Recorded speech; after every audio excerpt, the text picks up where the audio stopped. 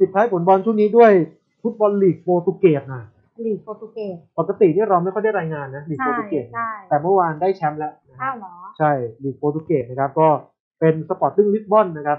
ที่ทีมเก่าของโรนัลโดเลยอืนะมพังงาดคว้าแชมป์ลีกสูงสุดของโปรตุเกสเป็นครั้งแรกนะครับค่ะในรอบ 19 ปี โอ้โห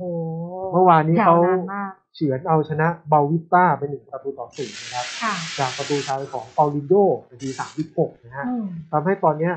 เอ่อทิ้งห่างอันดับ2ถึง8คะแนนค่ะขณะที่เหลือการแข่งขันอีกแค่2นัดนะฮะอืมก็การันตีคว้าแชมป์เรียบร้อย นอกจากครั้งแรกในรอบ 19 ปีแล้วยังเป็นแชมป์สูงสุดสมัยที่ 19 ด้วยนะอ๋ออ่าพอหงพอหวยก็ตีกันได้นะฮะตามสบายนะครับที่เลขนี้ตามมาหลายรอบแล้วนะไม่มาสักทีนะ19เนี่ยถูกอ๋อ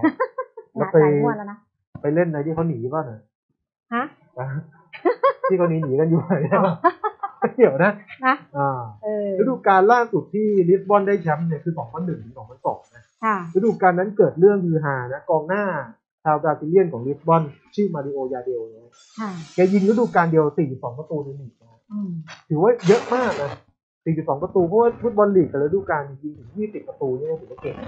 ขอบคุณไอ้นี่ยิงไป42ประตู คุณซื้อเขาชื่อรูเบนอโมริมนะถือว่า